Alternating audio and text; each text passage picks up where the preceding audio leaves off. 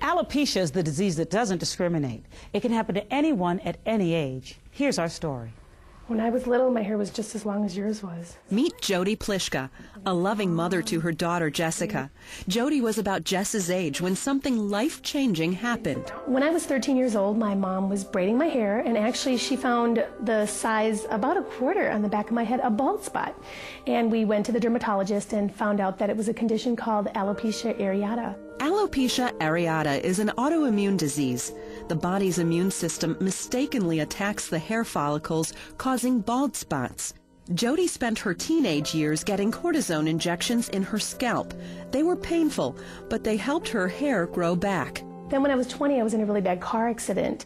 In the days following her accident, Jodi woke to find a clump of hair on her pillow, and then more hair in the shower drain, and then more in her hairbrush, until it was gone. My once perfect life was not perfect anymore. I mean, how could this be happening to me? Well, that's the million dollar question. What causes alopecia areata? And the short answer is we don't know. What is known is that alopecia doesn't affect general health and that anyone in any age group can get it. It's more common in children and it runs in families. And so far, there's no cure. There have been reports here and there of, of various triggering factors, uh, such as stress, like a divorce or moving, or viral illnesses. Or a car accident. Dr. Duvic believes the more serious problem with alopecia areata isn't a physical one. We need to pay attention to the psychological implications of having this disease because some people get very, very depressed over it. Jodi certainly understands that. But with her sense of humor, Those poor people with hair, they can't understand what it's like to have a full cranial rub. and her positive attitude, she turned tragedy into triumph. This is where we started when I had the idea for Headline It. I Jodi is the inventor of Headline It, a product created to soak up the sweat and oils under wigs, hats, and helmets.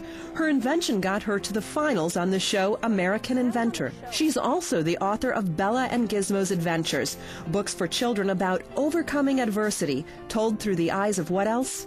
Hairless cats. Now, after celebrating what Jodi calls her 2020 birthday, 20 years with hair, 20 years without hair. Jodi wouldn't change a thing. And I looked at every challenge as an opportunity. I think having lost my hair, I found who I am. For Health Corner, I'm Jody Olson. want to say, um, How could you not be inspired by Jodi's story? I mean, she's just so there with her purpose and that energy.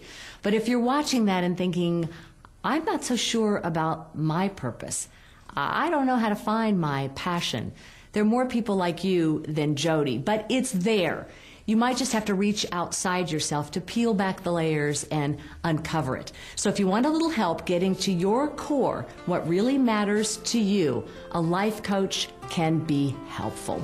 Best place to start is online. So go to healthcornertv.com and click on Sheer Inspiration Coaching.